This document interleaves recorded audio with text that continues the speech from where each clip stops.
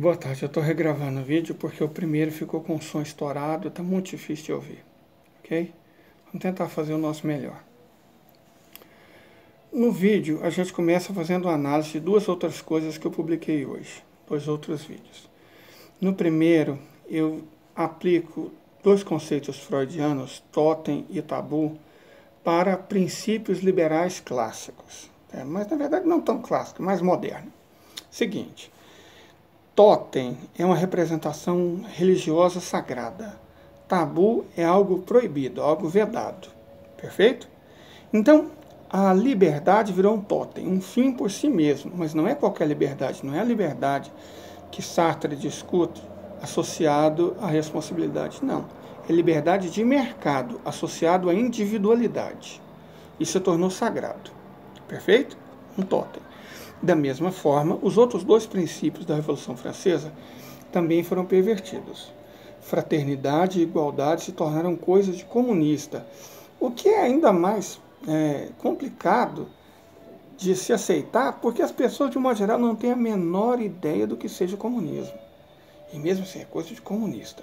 Virou um tabu. Perfeito?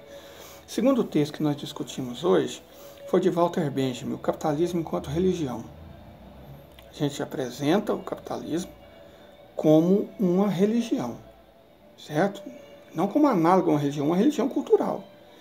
É, originalmente, Walter Benjamin analisa um texto de Max Weber chamado A Ética Protestante e o Espírito do Capitalismo, no qual ele discute o papel dos calvinistas na criação, no desenvolvimento dos princípios liberais. Perfeito? Eles dizem, afirmam que a prosperidade financeira é um sintoma de que você vai ser salvo, certo? E a teologia da prosperidade não é outra coisa senão isso.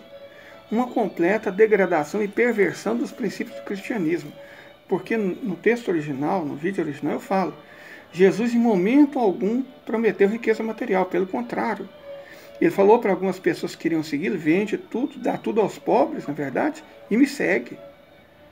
Dos doze discípulos dele, só um era rico, Mateus. E o que mais gostava de dinheiro era Judas Iscariotes. Não preciso dizer o papel de Judas Iscariotes na vida de Jesus. Correto? Era o responsável pelo dinheiro. Então, essa associação entre riqueza material e salvação é uma coisa que não encontra guarida na Bíblia, mas é muito importante para determinados ciclos do protestantismo, em particular para os neopentecostais. E aí a gente discute outra coisa que, a meu ver, é bastante importante. Essa associação não acontece somente entre os evangélicos. Ela pode ser encontrada nos católicos também. Vou dar um exemplo: o franquismo, o pinochetismo, o fascismo italiano. São todas ideologias muito católicas e, sobretudo, de extrema direita. Perfeito? O sionismo israelense é de extrema direita. Os evangélicos norte-americanos também são de extrema direita. Os hinduístas fundamentalistas são de extrema direita. Os salafitas ou arrabitas sauditas também são de direita. Correto? E aí a gente está discutindo uma coisa que eu acho fundamental: a perversão dos valores da religião em prol do Deus dinheiro. Perfeito? O dinheiro é muito importante para esses fundamentalistas. A propriedade privada é muito importante para esses fundamentalistas. Eles perderam contato com a mensagem divina. A religião deles é ganhar dinheiro. E por que, que isso é importante em um aspecto geopolítico? Por que, que a gente falou lá no título de Taiwan e da Ucrânia?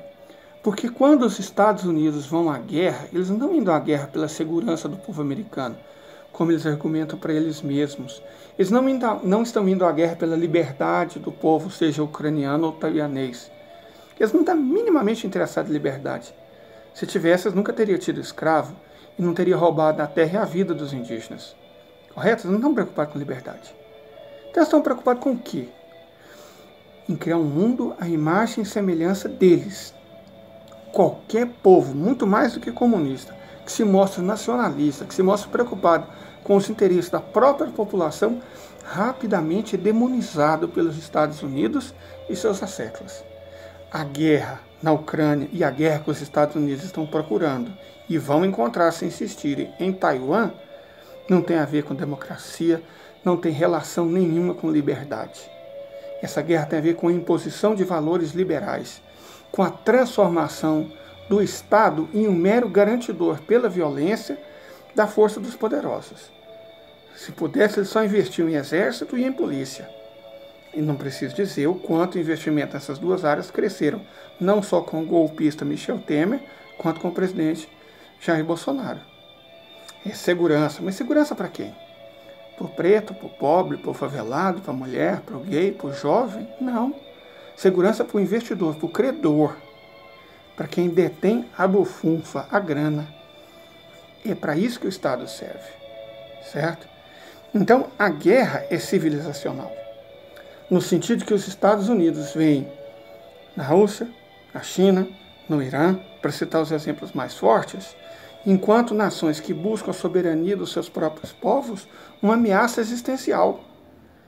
Ameaça aqui, repito, não aos americanos, não ao povo dos Estados Unidos, mas aos grandes banqueiros, certo? Aos bilionários.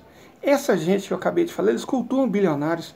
Ser bilionário é uma aberração, ninguém deveria ter tanto dinheiro, principalmente no mundo com tanta gente passando fome, com tanta gente desempregada, com tanta gente pobre. Repito, os Estados Unidos vão à luta pelo dinheiro, pelo direito de acabar com o Estado, de reduzir todas as pessoas à servidão, à escravidão pela dívida, escravizando os próprios Estados nacionais. É só dar uma olhada nos países que o FMI resgata. Todos eles são dizimados. Todo lugar que se aplica políticas neoliberais, você tem o que está acontecendo no Brasil: pobreza, miséria, fome, desemprego, desigualdade, violência. É isso que eles buscam, é exatamente isso que eles querem. Perfeito? É isso que o liberalismo busca. É isso que os Estados Unidos defendem. Por isso eles agridem. Agrediram a Rússia e agora, pelo jeito, vão tentar agredir a China. Putin já mostrou ser um homem de muito pouca paciência. Xi Jinping tem menos ainda. Os Estados Unidos não estão conseguindo ganhar a guerra na Ucrânia e muito menos vão conseguir ganhar em Taiwan. E pior, são países que têm bombas atômicas e têm medo de levar elas para qualquer lugar do mundo. Então, está arriscando o futuro da humanidade para que uns poucos bilionários financistas ganhem dinheiro. A vida humana vale mais que isso. E só uma fé cega com faca molada, permite acreditar que isso é um valor que deva ser defendido pelos estados em nome do povo. Não é democracia.